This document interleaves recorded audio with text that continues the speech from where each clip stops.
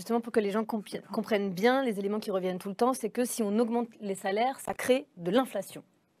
Oui, alors ça, euh, ça fait partie, hein, ce que je disais tout à l'heure. Donc euh, déjà, la première chose qu'on a envie de dire, c'est là, actuellement, il y a de l'inflation, tout le monde la voit dans son porte-monnaie. Mm. Et euh, vous avez vu l'augmentation des salaires, vous? Non. Parce que vous payez toujours plus quand vous passez à la caisse, mais l'augmentation des salaires, elle n'est pas là. Donc la question, c'est d'où elle vient, cette inflation? Elle est déjà là, d'où elle vient? Et là, c'est toute la question, et c'est ce que tu disais, sur aussi changer de modèle économique, pas seulement être dans une logique de relance. Il y a la question de la relance par l'augmentation des salaires, mais il y a la question aussi de comment on s'attaque euh, aux logiques spéculatives.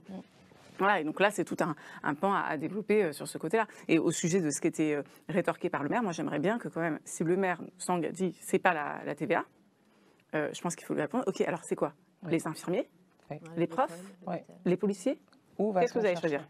Je pense que c'est vraiment ça qu'il faut, Oui. euh, qu'il faut rétorquer sur cette, ces logiques euh, d'économie. Donc euh, j'y pensais là en me disant, euh, faut pas laisser passer euh, le, le démenti. On l'a, on l'a interpellé d'ailleurs lors de la conférence de presse, c'est que, euh, comme ils disent, euh, il n'y a pas d'argent magique.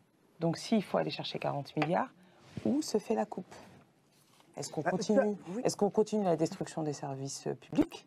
Ou est-ce qu'on augmente les impôts et les taxes? C'est la les seule façon de faire rentrer de l'argent. C'est soit tu coupes voilà. les dépenses, soit tu augmentes les, les, les Quel est le recettes. choix?